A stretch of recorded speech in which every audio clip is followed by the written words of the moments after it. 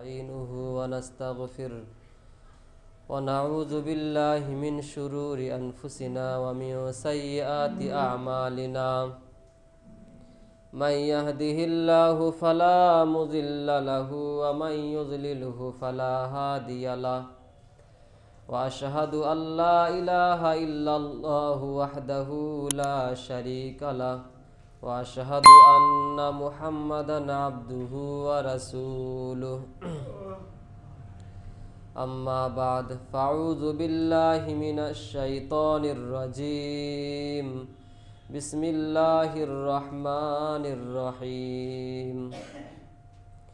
يا أيها الذين آمنوا اتقوا الله حق تقاته ولا تموتن إلا وأنتم مسلمون.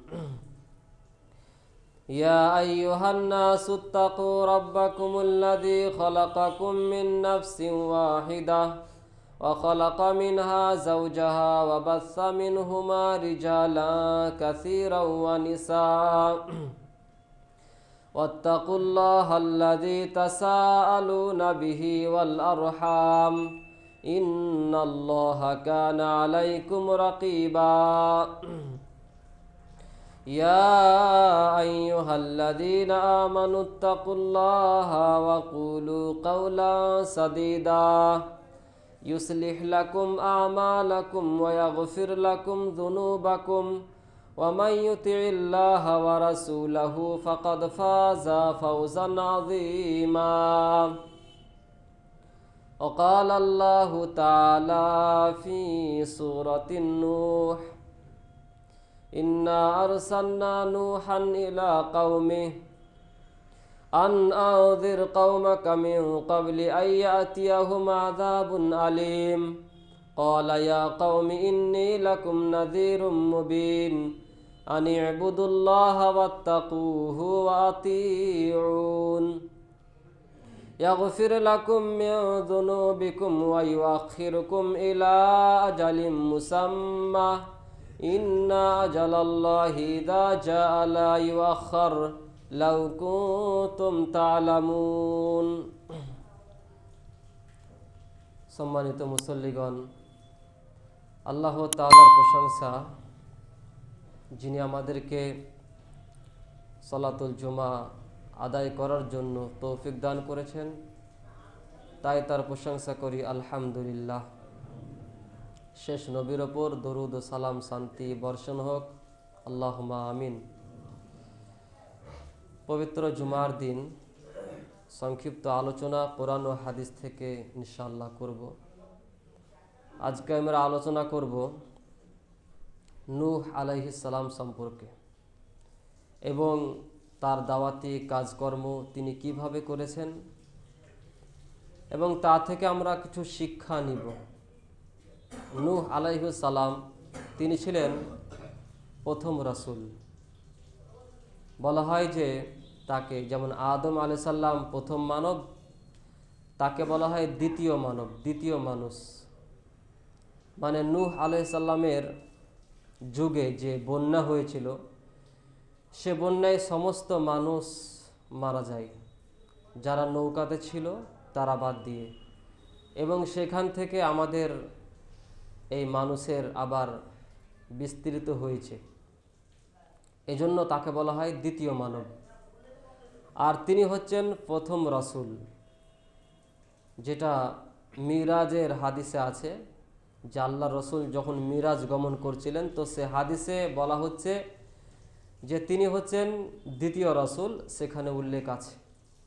যাই হোক, তিনি মর্যাদা সম্পন্ন একজন ব্যক্তিত্ব, তিনি নবী নূহ আলাইহিসালাম তার সম্পর্কে আমরা আলোচনা করি যে তিনি জমিনে পৃথিবীতে ছিলেন সাড়ে নশো বছর।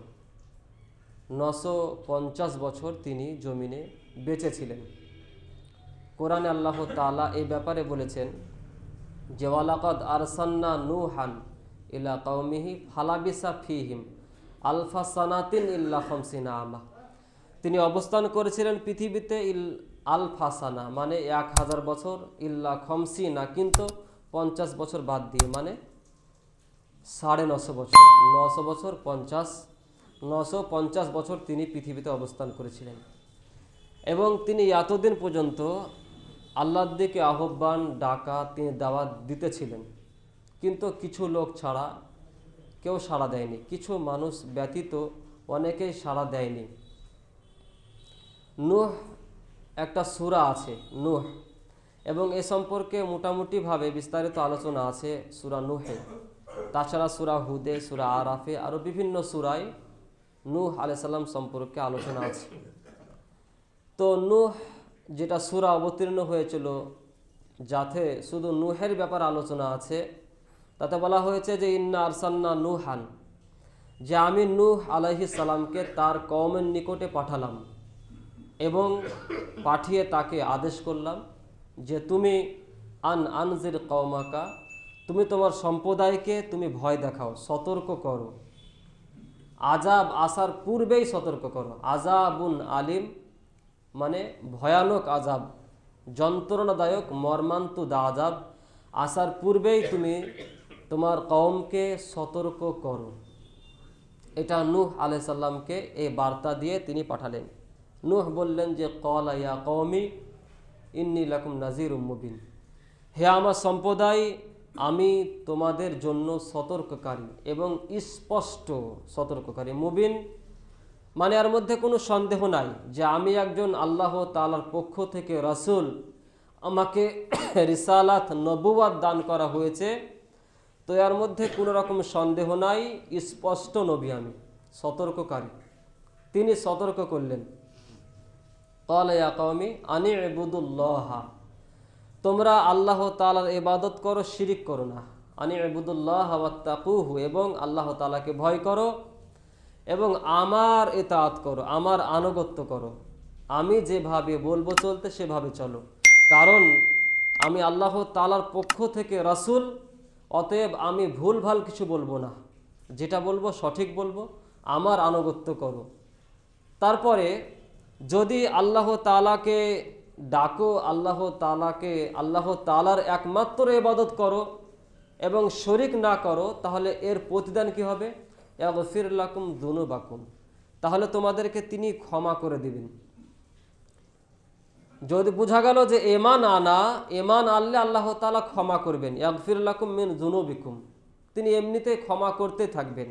হাদিসে আছে, কেউ যদি এমান হালাতে মারা যায়, কিঞ্চিত পরিমাণ যদি এমান থাকে, তাহলে সে একদিন জান্নাতে যাবে। কিন্তু ওই কিঞ্চিত পরিমাণ এমান রাখাটা খুবই কঠিন। যাই হোক, শুধু একবার লাইলাহা ইল্লাল্লাহ পড়লে যে এমান থাকবে তা থাকবে না। ওই দিকে অন্য আলোচনা। তো ইয়াগফিরুল্লাকুম মিন জুনুবিকুম ওয়া আখিরকুম এবং তোমাদেরকে আর একটা কী দিবে? যে সময়কাল পর্যন্ত, নির্ধারিত সময়কাল পর্যন্ত তোমাদেরকে অবকাশ দিবেন সময় দিবেন। এ থেকে স্পষ্ট হলো যে কেউ যদি এমান আনে, শরিক না করে, ইবাদত করে আল্লাহ তালার আনুগত্য করে, এবং সম্পর্ক, হাদিসা আছে যদি সম্পর্ক অটুট রাখে, সম্পর্ক ছিন্ন না করে, তাহলে তার আয়ুতে বৃদ্ধি করা হয়, তাকে আরও বেশি সময় দেওয়া হয়। অন্য হাদিসে আছে যে তাকে বরকত দেওয়া হয় তার সময়ে। আমাদের সময়ের বরকত নেই। এই সকাল করলাম, বৈকাল হলো। দশ বছর, কুড়ি বছর, তিরিশ বছর আমাদের বয়স হলো। তারপর আমরা ভাবছি যে দুনিয়াতে না দুনিয়া না আখেরাত। দুনিয়ায় কিছুই কামাতে পারেনি, কি আর কামিয়েছি?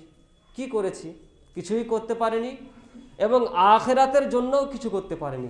যদি আমরা আল্লাহ তালাকে মানতাম, ছোট থেকেই যদি সলাত আদায় করতাম, সঠিকভাবে চলতাম, তাহলে হয়তো মনে তৃপ্তি পেত, শান্তি, প্রশান্তি হতো। না, কিছু করেছি তাই বলে। কিন্তু কিছুই করতে পারেনি।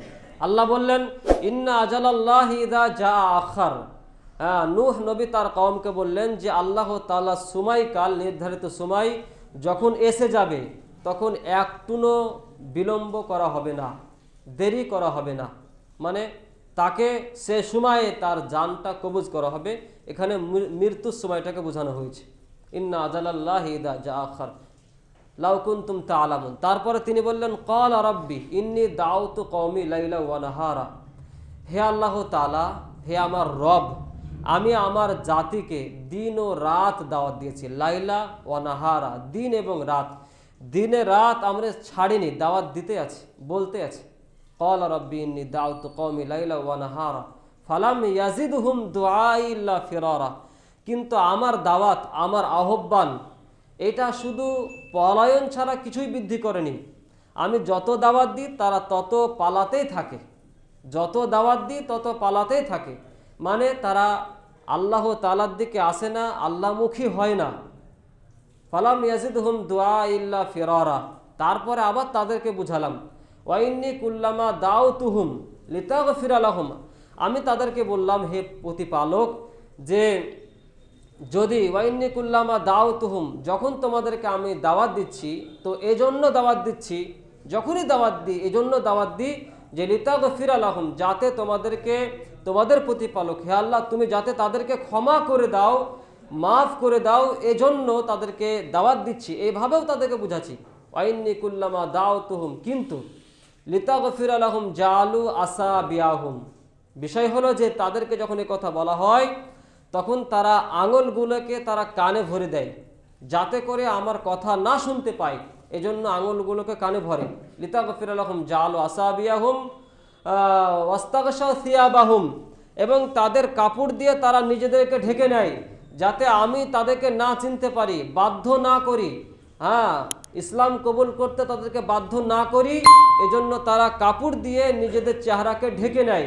ওয়াইন্নি কুল্লামা দাও তুহম তারপরে বললেন যে জাল আসাবিহম ওয়াসারু এবং তারা জিদ করে, কোনো মতেই মানে না না মানবো না।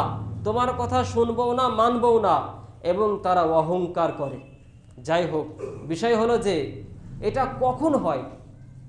এটা যখন মানুষ পদ ভ্রষ্টতা ভ্রষ্টতার একদম সীমা, শেষ সীমায় যখন পৌঁছে যায়, তখন এটা হয়। শেষ সীমায় কীভাবে পৌঁছায়? যে আমাদের জাতি, মুসলিম জাতি ইসলামকে গ্রহণ করেছে, মুসলিম ঘরে জন্মগ্রহণ করেছে, কিন্তু কোরআন কাকে বলে জানে না? হাদিস কাকে বলে জানে না? রসুল কাকে বলে জানে না? রসুল তিনি শেষ নবী কে, কি নাম, সেটা জানা নাই।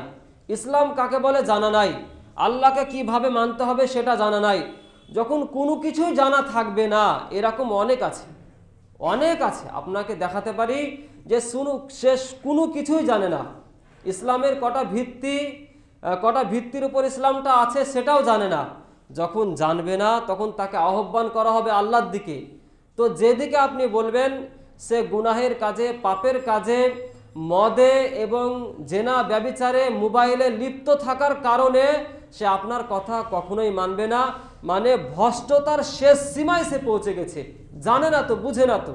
এজন্য আমাদের উচিত হলো যে প্রথম থেকে মানে ছোট বাচ্চাকাল থেকে কোরআন তেলাবাত করা, এগুলো শিখা, ইসলাম জানা আল্লাহর রসুল কে সেটা জানা। শেষ নবী কি? নবী কেন এসেছেন? মোটামুটিভাবে এগুলো জানা। তাহলে এ সমস্ত লেকচারগুলো মাথায় ঢুকবে। শেষ সীমায় পৌঁছে গেছে। তারপরে তিনি বলেন যে, ইন্নি দাওতুহুম জিহারা। আমি তাদেরকে প্রকাশ্য দাওয়াত দিলাম। সুম্মা ইন্নি আলান্তুলাহুম আসরারতুলাহুম ইসরারা। এবং আমি তাদেরকে ঘোষণা করে দাওয়াত দিলাম। ঘোষণা করে দাওয়াত দিলাম। এবং গোপনে দাওয়াত দিলাম। এমনকি তাদেরকে আমি সমাবেশে, তাদের সমাবেশে তাদের ইজতেমায় গিয়ে, তাদের সভাতে গিয়ে ঘোষণা করে চিল্লে তাদেরকে দাওয়াত দিলাম। তারপরে তাদের ঘরে ঘরে গিয়ে তাদেরকে দাওয়াত দিয়েছি।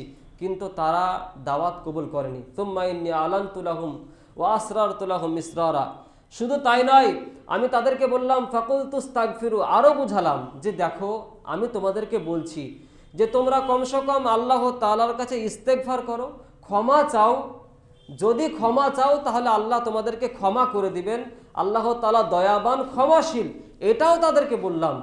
এবং তাদেরকে বললাম যে, যদি ক্ষমা চাও, তাহলে ইরসিলিস সামা, তোমাদেরকে যেমন পানি প্রয়োজন প্রয়োজন মোতাবেক তোমাদেরকে পানি বৃষ্টি বর্ষণ করবে। ওয়ম দিদকুম বি আমওয়াল, তোমাদের মালে ধন সম্পত্তিতে তোমাদেরকে বৃদ্ধি করবে, বরকত দান করবে। এবং ওয়াজ আল্লাকুম জান্নাত এবং তোমাদের জন্য বাগান তৈরি করে দেবে। ওয়াজ আল্লাকুম মানহারা, নিচে নহর জারি করে দেবে। এত কিছু বলা হলো, তারপরেও তারা কথা মানে না। বিষয় হলো যে, তাদেরকে এই এই যে আয়াতগুলো থেকে নিয়ে ফাকুল তুস্তাক ফিরু ইস্তেকফার থেকে নিয়ে হাসান বাসারি তিনি বলেছেন যে, কাউকে হাসান বাসারিকে জিজ্ঞাসা করা হলে মানে জিজ্ঞাসা করা হলে যে, আমার অভাব হয়েছে, আমার অভাব অনাটন, তাহলে আমি কি করব? তখন তাকে হুকুম করা হতো, আদেশ করা হতো, তুমি ইস্তেকফার করো। আমার সন্তান হয় তা- সন্তান হয় না, তাহলে আমি কি করব? ইস্তেকফার করো। বৃষ্টি বর্ষণ হয় না, তাহলে কি করব? ইস্তেকফার করো। বিষয় হলো ইস্তেকফার করলে মালে বরকত হয়, আত্মা প্রশান্তি থাকে, তাহলে আমাদেরকে বেশি বেশি ইস্তেকফার করা দরকার। এই রকমভাবে যখন দাওয়াতি কাজ তার সাড়ে নশো বছর চলতে থাকল, শেষের দিকে তারা তাদের নেতাগণ, যারা নেতা ছিল তারা বলতে লাগল যে তাজারুন্না তারা বলল যে তোমরা কখনোই তোমার এই যে মাবুদগুলো আছে, তোমাদের যে মাবুদগুলো আছে, মূর্তিগুলো আছে, এদেরকে কখনোই তোমরা পরিত্যাগ করবে না, ছাড়বে না। শুধু তাই নয়, ওয়ালা তাজারুন্না ওয়াদ্দা ওয়ালা সোয়া, ওয়াদকে এবং সোয়াকে এবং ইয়াগুসকে এবং ইয়াউক এবং নাসার ইয়াদেরকেও তোমরা পরিত্যাগ কখনোই করবে না, ছাড়বে না। তারা এইভাবে মানে তাদের নেতাগুলো বলতে লাগল। বিষয় হলো যে, দেখেন, আমরা একটু লক্ষ্য করি বিষয় এগুলো নিয়ে যে যখন মক্কা জীবনে হ্যাঁ মক্কা জীবনে আল্লাহ রসুল যখন দাওয়াত দিচ্ছেন, তখন তাদের নেতারা বলছে, না, তোমরা কখনোই এই মূর্তি পূজা ত্যাগ করবে না। তোমরা এদেরকে ছাড়বে না। তোমাদের মাবুদদেরকে কখনোই পরিত্যাগ করবে না। এটা তারা বলছিল। আর এখন বর্তমান সময়ে সেই থেকে মূর্তি পূজা এখন চালু হয়েছে, এখন চলছে। এইভাবে আবার চালু হয়েছে। যাই হোক, যারা মূর্তি পূজারী, যারা কবর পূজারী, যারা মাজার পূজারী, তাদেরকে যদি কোরআন ও হাদিস দিয়ে ব্যাখ্যা বিশ্লেষণ করে যদি বলা হয় যে তারা কখনোই তারা মানতে চাইবে না। তাদেরকে বলা হলো যে, দেখো, তোমরা যেটা করছ, এটা সঠিক নয়। তো তারা বলল যে, আমার বাপ দাদারা করে এসছে, সঠিক নয় মানে? তো দেখেন, আমরা লক্ষ্য করি যে এই যে মাজার পূজারী, কবর পূজারী, মূর্তি পূজারী যারা আছে, যারা করছে, এগুলো আমরা কোরআন হাদিস থেকে, সহি হাদিস থেকে আমরা পাচ্ছি যে এগুলো সঠিক নয়। আমরা আল্লাহ রসুলের তরফ থেকে এগুলো জানতে পাচ্ছি যে এগুলো সঠিক নয়। আল্লাহ তালার কোরআন থেকে জানতে পাচ্ছি সঠিক নয়। ঠিক ওই রকমভাবে নূহ আলাইহিস সালাম থেকে তারাও জানতে পারছিল যে এগুলো সঠিক নয়। এগুলো বাপ দাদাদের ঠিক আছে, কিন্তু তার বাপ দাদারা সঠিক পথে ছিল। তারপরে তার আগের বাপ দাদারা সঠিক পথে ছিল। এই কিছু জায়গায় গোলমাল লেগে গেছে। আর গোলমালটা কীভাবে লেগেছে? আর বিস্তারিত আলোচনা করলে আমরা বুঝতে পারব যে মানুষকে পথভ্রষ্ট করে শয়তান আস্তে আস্তে, একদম ধীরে ধীরে পথভ্রষ্ট করে শয়তান। ধীরে ধীরে তো ঠিক ওই রকমভাবে যখন ওয়াদ সুয়ায়াগুস ইয়ারা সেকালের মানে সম্মানিত ব্যক্তি ছিলেন এবং তারা নেক, সৎ ব্যক্তি ছিলেন। তারা যখন মারা গেল, মারা গেলেন তখন তাদের যারা মানে ভক্ত, তাদেরকে শয়তান কুমন্ত্রণা দিলে অশ্বাসা দিল। অশ্বাসা দিয়ে বলল যে, এদের মূর্তি পূজা তৈরি করো। এদের মূর্তি তৈরি করো দিয়ে মূর্তি তৈরি করে এদের পূজা করতে লাগো। মানে প্রথমে মূর্তি তৈরি করো দিয়ে মূর্তি তৈরি করে এদেরকে দেখবে, তখন তোমাদের আরও মনোযোগী লাগবে ইবাদত করতে। সেই বংশ শেষ হয়ে গেল। তারপরে যখন আর একটা শতাব্দী এলো, তখন তাদেরকে বলা হলো যে, এখন দেখো, এই যে মূর্তিগুলো আছে, আসলে তোমার বাপ দাদারা এদের পূজা করতো। আপনি লক্ষ্য করেন যে, আপনাকেও যদি বলা হয় যে, বিষয়টা এরকম ছিল না, তোমার বাপ দাদারা এটা করতো, তাহলে আমরা কি বলব? তাই তো, হয়তো আমার বাপদাদারা করতো, এটাই চালু ছিল, তো আমরা এইভাবে কবুল করব। কিন্তু এই বাপদাদাকে খণ্ডন করার জন্য বা বাপদাদাদের তরিকা, নীতিকে খণ্ডন করার জন্য এই কোরআন হাদিস স্পষ্ট। কোরআন, হাদিস আমরা দেখতে পাচ্ছি যে না, এটা বাপদাদার রীতিনীতি নয়। আগে সঠিক ছিল, তারপরে মধ্যে বেঠিক হয়ে গেছে। তো ঠিক ওই রকমভাবে ওরাও জানতে পেরেছিল, কিন্তু মানেনি। যাই হোক, এই বিভিন্ন রকম যখন বলা হলো, মানতে চাইলো না, তখন তারা, তাদের কওমরা কিছু আপত্তিকর কথা জানালো, কিছু আপত্তি জানালো। নূহ আলাইসাল্লামকে কিছু আপত্তি জানালো।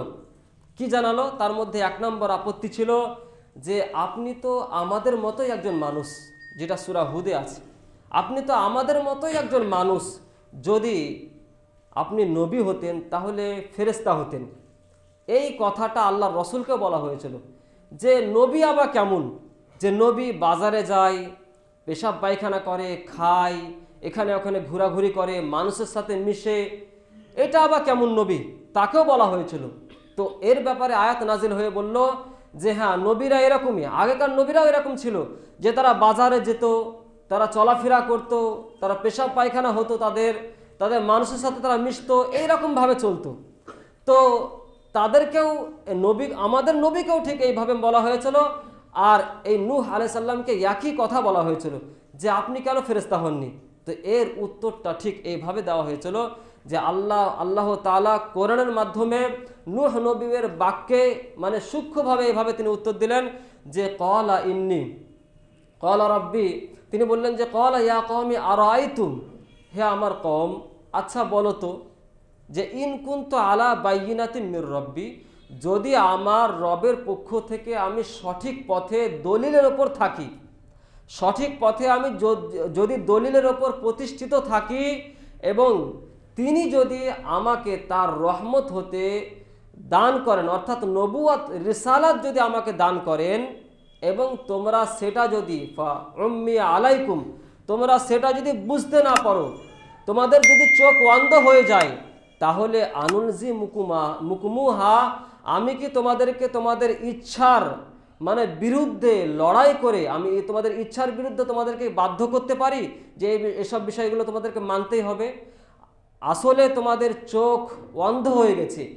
তো এটা তো আল্লাহ তালা দিচ্ছে এখানে বিষয় হলো যে, এখানে গুরুত্বপূর্ণ কথা হলো যে কলা রব্বি ইনকুন্ত আলা বাইনাতিম মির রব্বি বাইনাতিম মির রব্বি আমার রবের পক্ষ থেকে।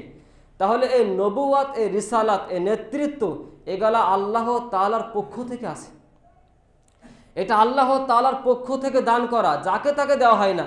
রিসালাত নবুয়াত আল্লাহ যাকে ইচ্ছা তাকে দান করেন। অতএব এটা আমাকে আল্লাহ তালা দান করেছে এবং আমার, আমি সঠিক পথে আছি, এটাও তোমরা দেখতে পাচ্ছ। দলিল সহ প্রমাণ করে দিচ্ছি, তাহলে কেন মানছো না? তারপরে তিনি বললেন যে যদি ফেরেস্তায় পাঠানো হতো ফেরেস্তায় যদি পাঠানো হতো, তাহলে আল্লাহ তো ফেরেস্তা আকারে তোমাদের মাঝে তো পাঠাতো না ফেরেস্তাকে আবার মানুষ আকারেই পাঠাতেন। কারণ ফেরেস্তারা অন্য জাতি ফেরেস্তারা অনেক বড় আকারে ফেরেস্তাদেরকে ভয় পেয়েছেন আমাদের রসুল। তিনি তাকে দেখে তারপরে বাড়িতে এসে তার জ্বর চলে এসেছিল। তাহলে তোমরা কীভাবে ফেরেস্তাদেরকে দেখে সরাসরি দেখতে পারতে? সে ফেরেস্তা এলেও সে মানুষ আকারে তাকে তোমাদের কাছে পাঠানো হতো। অতএব একই বিষয় হতো মানে একই সন্দেহ করতে। তাহলে কেন তোমরা আশ্চর্য বোধ করছ যে আল্লাহ তালার পক্ষ থেকে আমাকে রিসালাত দান করা হয়েছে তোমাদেরকে সতর্ক করার জন্য? তো এই বিষয়ে তোমরা কেন আশ্চর্য বোধ করছ? বিষয় হলো যে এইভাবে তিনি খণ্ডন করলেন কথাকে। দ্বিতীয় আপত্তি ছিল, দ্বিতীয় আপত্তি তাদের ছিল যে, আমি যাদেরকে তোমার সাথে দেখতে পাচ্ছি, তারা তো আমাদের মধ্যে হীন ব্যক্তি এবং মানে কম বুদ্ধি ব্যক্তি, তাদের বুদ্ধি নাই। এই রকম লোকেরা এবং হীন, দুর্বল লোকেরা যাদের মাল মাথা বেশি নাই, এই সমস্ত লোকেরা তোমার এতে এত্তেবা করছে, তোমার কাছে আছে। তো আমাদের আপত্তি হলো যে তাদের, তারা যেন তোমার মজলিসে না আসে। তুমি যেখানে আলোচনা করবে, সেখানে তারা যেন না আসে। তারা না থাকলে তবে আমরা যাব। তো এই আপত্তি তাদের ছিল। আর এই আপত্তি আমাদের রসুলকেও বলা হয়েছিল যে, দেখো, তোমাদেরকে যারা মানে তোমার যারা এত্তেবা করছে, অনুসরণ করছে, তো আমাদের মধ্যে যারা কমজোর লোক, তারা তো প্রথমে আছে। যারা বড় লোক, ধনী ব্যক্তি, যাদের মর্যাদা সম্পন্ন ব্যক্তি, আমাদের এলাকায় বেশি মর্যাদা, তারা তো নাই। বেশি যারা আছে তারা একদম কম বুদ্ধি সম্পন্ন ব্যক্তি। এবং এ কথাটা আপনার যে হারেক্কেলকে জিজ্ঞাসা করা হয়েছিল, তা হারেক্কেল এই কথাটা বলেছিল যে মানে যারা এত্তেবা করছে প্রথম দিকে, তারা কোন ব্যক্তি? তারা কোন লোকেরা আছে? তো তাকে বলা হয়েছিল, আবু সুফিয়ান বলেছিলেন যে, যারা ইত্তেবা করছে, যারা অনুসরণ করছে, তারা মানে কমজোর ব্যক্তি এবং আমাদের মধ্যে যারা সব থেকে নিম্ন ব্যক্তি, সব দিক দিয়ে তারাই তার ইত্তেবা করছে। তাহলে, আর তিনি তখন বলেছিলেন যে হ্যাঁ রসুলদের ব্যাপারটা এরকম যে, গত রসুল মানে যত রসুল এসেছে, তাদের অনুসারী কমজোরি ছিল। প্রথম দিকে তারা কমজোর ছিল। মানে আস্তে আস্তে তখন মানে ভালো ব্যক্তিরা, মর্যাদা সম্পন্ন ব্যক্তিরা তখন ইসলামকে কবুল করেছে। নূহ আলাই নূহ আলাইসাল্লামের যুগে একই ব্যাপার ছিল যে, কমজোর লোকেরা ইত্তেবা করেছিল। দেখেন, এই যে আপত্তি কিন্তু তিনি এই আপত্তিকর ব্যাপারটাকে তিনি এইভাবে জবাব দিলেন যে, ওয়ালা তাতুরুদ্দিল্লাজিনা ওয়ালা তাতুরুদ্দিল্লাজিনা আ মানু যারা আমার সাথে ইমান এনেছে, তাদেরকে আমরা কীভাবে ছাড়তে পারি? আমি তো তাদেরকে মানে ছেড়ে দিতে পারি না বা বলতে পারি না যে, তোমরা চলে যাও, আমার সভা ত্যাগ করো, আমার নিকটে আর আসবে না। এ কথা আমি তো বলতে পারি না। ইন্নাহুম মুলাকু রব্বিহিম তারা তো খুব তাড়াতাড়ি ওয়াচিরেই অবশ্যই তারা তো আল্লাহ তারা দিদার লাভ করবে। আল্লাহ তালার সাথে তাদের সাক্ষাৎ ঘটবে। ইন্নাহুম মুলাকু তাজহালুন।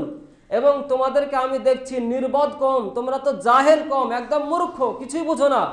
তারপরে তিনি বললেন যে, ওয়া কৌমি মাইয়ান সুরুন মিনাল্লাহিন তারাতুহুম যদি আমরা এদেরকে, আমি যদি এদেরকে পরিত্যাগ করি, ছেড়ে দিই, আমি যদি এদেরকে বলি যে, চলে যাও তাহলে আমাকে আল্লাহ তালার পাকড়াও থেকে কে বাঁচাবে? আল্লাহ তার পাকড়াও থেকে কে বাঁচাবে? কেন বুঝতে পারছ না? সে কমজোর লোক আমার ইত্তেবা করুক, আর মানে ভালো ব্যক্তি ইত্তেবা করুক, আর মানে শক্তিশালী ইত্তেবা করুক মানে বুদ্ধি সম্পন্ন ব্যক্তি ইত্তেবা করুক, কম বুদ্ধি সম্পন্ন ব্যক্তি ইত্তেবা করুক, বিষয় এটা নাই। দেখো, আমি যে যার দিকে আহ্বান করছি, সেটা সঠিক না বেঠিক, এটা দেখো। তো আমাদেরকে এখন দেখতে হবে যে আমরা যার দিকে আহ্বান করছি কোরআন হাদিস, এটা সঠিক না বেঠিক? সেটা আমি কে দেখলে হবে না? আমি যেই হই না কেন? আমি দেখব না যে কে তার অনুসরণ করছে, সেটাও দেখতে যাব না। আমরা দেখব যে শুধু মানে সঠিক না বেঠিক? যদি সঠিক হয়, তাহলে আমরা সেটা পালন করব, সেটা মানব, সেটাকে আমরা মেনে নেব। আমরা দেখব না কে অনুসরণ করছে। ইনশাল্লাহ এটাই মানে যুগে যুগে হয়ে আসছে। তারপরে তৃতীয় তাদের আপত্তি ছিল যে আমরা তোমাদেরকে দেখতে পাচ্ছি যে তোমরা, তোমাদের, আমাদের কাছে কোনো প্রাধান্য নাই। মানে তোমাদেরকে যে কোনো ভালো ব্যক্তি বা খুব দামি ব্যক্তি বা বড় লোক ধনী ব্যক্তি এটাও দেখতে পাচ্ছি না। এটাও যে পাচ্ছি তাও দেখতে পাচ্ছি না। এই একই কথা বলা হয়েছিল আমাদের নবীর ব্যাপারে। আমাদের নবী বংশের দিক দিয়ে খুবই ভালো ছিলেন। তার বংশটা খুব মানে মর্যাদাশীল ছিল। কিন্তু তিনি ছিলেন গরিব। তিনি ছিলেন ইয়াতিম। তার পিতা যখন তিনি পেটে ছিলেন তখনই মারা গেছিল। এটা তো আমাদের জানা। এবং ছয় বছর বছরে তার মাতাও মারা যান। তাহলে এইভাবে তিনি ইয়াতিম হয়ে গেছিলেন এবং তিনি গরিব ছিলেন এবং তিনি মানুষদেরকে আহ্বান করার জন্য গরিব হয়ে গেছিলেন। যাই হোক, বিষয় এটা এরকম ছিল এবং তার ওই দিক দিয়ে মর্যাদা তিনি ছিলেন না, মর্যাদা ব্যক্তি তিনি ছিলেন না। যেটা দুনিয়াবি যে দিক দিয়ে আমরা যাদেরকে মর্যাদা সম্পন্ন ব্যক্তি মনে করি, তাদেরকে আমরা মানে সেরকম তিনি ব্যক্তি ছিলেন না। তো একই কথা এখনও পর্যন্ত হয়। এখন যখন কোনো ব্যক্তি গরিব মানুষ, গরিব মানুষের ছেলে যদি আলেম হয় এবং সে সঠিক পথে থাকে এবং সঠিকভাবে দাওয়াত দেয়, তখন আমরা মেনে নিতে চাই না। ও তো, সে তো এর ছেলে, অমুকের ছেলে, ই আবার কি জানে? এরকম কথা আমরা বলি। তো এগুলো আমাদের বলা উচিত নয়। আমাদেরকে সবসময় ইসলামকে উচ্চ জায়গায় রাখতে হবে এবং আমাদেরকে সবসময় উচ্চ জায়গায় ভাবতে হবে ইসলামটা। এবং আমাদের যে সাহাবাদের কাজ, কর্মগুলো, সেটা সঠিকটা এটা আমাকে বুঝতে হবে। এবং আমাদের নবীদের যে কাজ, কর্মগুলো আছে, এটা সঠিক জানতে হবে। এবং আমরা বড় হতে গিয়ে, আমরা যে বড় উচ্চ জায়গায় পৌঁছাতে গিয়ে যদি শিরকি কুফরি কাজে, এটা আমি বারবার বলছি, যে শিরকি কুফরি কাজে যদি লিপ্ত হতে হয়, তাহলে সে সমস্ত কাজগুলো ছেড়ে দিয়ে কোরআন, হাদিসের স্টাডি করতে হবে এবং প্রয়োজন হলে চেয়ে খেতে হবে। প্রয়োজন হলে ভিক্ষা করে খেতে হবে। কিন্তু সঠিক পদে থাকতে হবে। তাহলে ইসলাম উচ্চ জায়গায় থাকবে, আপনিও উচ্চ মাকানে থাকবেন। তো এই আপত্তি কখনোই করা হবে না। যে তারা তো মর্যাদা সম্পন্ন ব্যক্তি নয়, যারা ইসলামকে মানছে তাদের তো কোনো টাকা পয়সা নাই, তাদের তো ধন দৌলট কিছু নাই, তারা তো চাকরি বাকরিও করে না, তাদের তো ডিগ্রি নাই, না, এসব কিছু নয়। কোরআন হাদিসকে মানতে গিয়ে আপনার ডিগ্রির প্রয়োজন নাই, কোরআন হাদিসকে শিখতে গিয়ে ডিগ্রির কোনো প্রয়োজন নাই। ওই ডিগ্রি শিখতে গিয়ে যদি আপনার ওই সিরকি কুফরি কাজ হয়, তাহলে সেটা যতই লস হোক না কেন, সেটাকে পরিত্যাগ করতে হবে এবং ইসলামের দিকে ধাপিত হতে হবে। যাই হোক, এটাই হলো ইমান এরপরে তাদের তৃতীয় আপত্তি যেটা ছিল, সেটা ছিল যে তৃতীয় আপত্তি যেটা ছিল যে তোমা, আমি তোমাদেরকে দেখছি যে মানে তুমি হচ্ছে নেত্রীর পদলোভী লোক। তুমি পদলোভী লোক। মানে তুমি পদ চাইলে আর কিছু চাও না। এরকম তিনি তাকে মানে আপত্তি জানানো হলো। তো আমরা দেখতে পাই যে পদলোভী বা টাকা লোভী এরকম নবীরা ছিলেন না। নবীদের ব্যাপারে যত আয়াত দেখবেন তারা দাওয়াত দিয়েছেন, একটা কথা আছে তাদের ব্যাপারে। কি আছে? যে, ওয়া কৌমি মালা আস আলুকুম আলাহি আজরা। যে, হে আমার সম্প্রদায়, যে, আমি আমি তোমাদেরকে যে দাওয়াত দিচ্ছি, তো দাওয়াতের জন্য কোনো বিনিময় চাই না, কোনো টাকা পয়সা চাই না, কোনো বিনিময় চাই না, মালা, কোনো মাল চাই না। তারপরে কি? ইন আজরিয়া ইল্লা আল্লাহ আমার বিনিময় শুধু আল্লাহ তাআলার নিকটে আছে, আমি আল্লাহ তাআলার নিকট থেকে আমার বিনিময়ের আশা রাখি। তোমাদের কাছে কোনো বিনিময় চাই না। তো নূহ আলাইসাল্লাম একই কথা বলেছিলেন যে, না, আমি পদলোভী, আমি নেত্রীর অভিলাষী, না, এরকম কিছু নয়। আমি নেতৃত্ব চাই না। আমি চাই যে তোমরা সঠিক পথে আসো। আর তোমাদের কাছে কোনো বিনিময় চাই না। একই কথা আমাদের রসুলকেও বলা হয়েছিল যে, আপনি কি নেতা হতে চান? আপনি কি নেতা হতে চান? যদি নেতা হতে চান, তাহলে সেটাও বলেন যে আমি আপনাকে নেতা করে দেব। আম- আমরা আপনাকে নেতা বানিয়ে দেব মানে এই আরবের নেতা বানিয়ে দেব। এবং আপনার যত টাকা পয়সা লাগে সেটাও দিব। এবং আপনাকে এমন একটা মেয়ের সাথে বিয়ে দেব, যেটা এই মানে আমাদের আরবের মধ্যে সব থেকে মর্যাদা সম্পন্ন ব্যক্তির মেয়ে হবে, বা সে মেয়েটা আরও উচ্চ মাকামের মেয়ে হবে, এরকম মেয়ের সঙ্গে আমি তোমার বিয়ে দিয়ে দেবো, বিয়ে দিয়ে দেবো। তো তিনি কি এটা চেয়েছিলেন? তিনি চাননি। এটা চাননি। তিনি বলেছিলেন যে, না, আমার এটা প্রয়োজন নাই। আমাকে আল্লাহ তাআলা যে দায়িত্ব দিয়েছে, সে দায়িত্ব আমি পালন করব। প্রয়োজন হলে তোমরা আমার এক হাতে চাঁদ, অন্য হাতে সূর্য দিয়ে দাও, সেটাও আমি কবল করব না। এখানে কয়েকটি শিক্ষণীয় বিষয় আছে। সেগুলো হলো যে, আমরা এখন বর- বর্তমান সময়ে এটা আপনারা যেভাবেই মানেন না কেন, বর্তমান সময়ে আমরা বিভিন্ন রকমভাবে সাংসদে পৌঁছাতে চাইছি, সাংসদ। এগুলো বুঝতে পারছেন, পার্লামেন্টে আমরা যে পৌঁছাতে চাইছি, তার জন্য আমরা যেগুলো করতে চাইছি, যেগুলো আমরা সমর্থন করছি, বা ভোট দিয়ে হোক, যেভাবে হোক আমরা সমর্থন করছি এবং সে জায়গায় পৌঁছাতে চাইছি।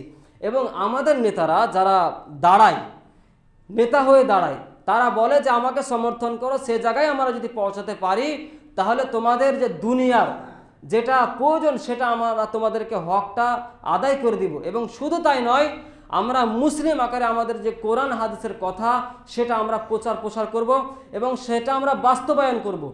তো এটা কি সম্ভব? এটা সম্ভব নয়।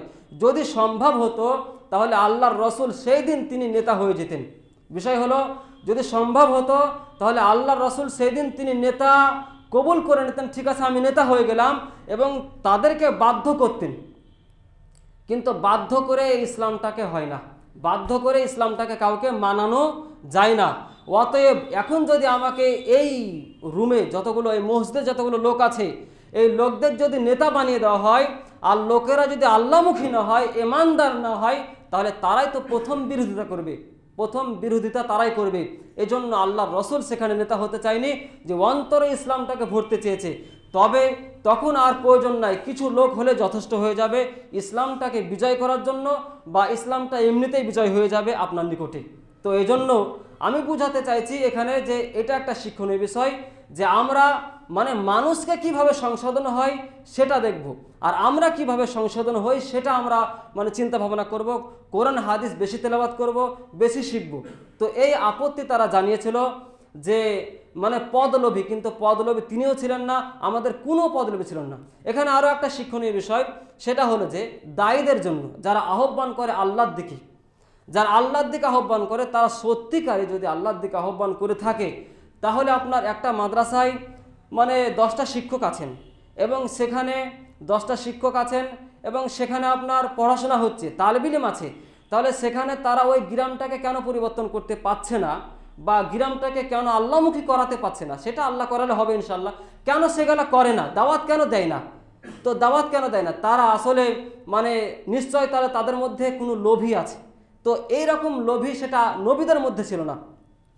এরকম দায়ী অনেক আছে যারা পদলোভী নয় বা টাকা লোভী নয় বা তারা কোনো কিছু চায় না। তারা দাওয়াত দিয়ে যাচ্ছে। এবং এখান থেকে এটাও বোঝা গেল যে আমরা কখনো কোনো সময় বেশি অঙ্কের টাকা দাবি করব না। যারা দায়ী আছেন তারা বুঝছেন যে বেশি অঙ্কের টাকা আমরা কোনো মজলিসে গিয়ে দাবি করব যে এত টাকা লাগবে, তবে আমরা দাবাত দিতে যাব।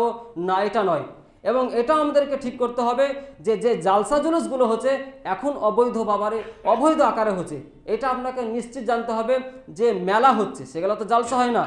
আর এভাবে দাওয়াতি কাজও হয় না। সেখানে জেনা, ব্যবচার আরও বিভিন্ন রকম জিনিস হচ্ছে। এবং সেখানে যে আলিমুলামারা যাচ্ছেন, সেখানে এটা ভুল হচ্ছে। বা যদিও যে থাকেন, তাহলে সেটাকে বন্ধ করার জন্য দাওয়াতি পন্থা অন্যরকমভাবে অবলম্বন করার চেষ্টা করতে হবে। যাই হোক, এখানে অনেক কিছু শিক্ষণীয় বিষয় হলো যে আমাদের যে সওয়াব আমাদের যে প্রতিদান সেটা আল্লাহ তাআলার নিকটেই হবে।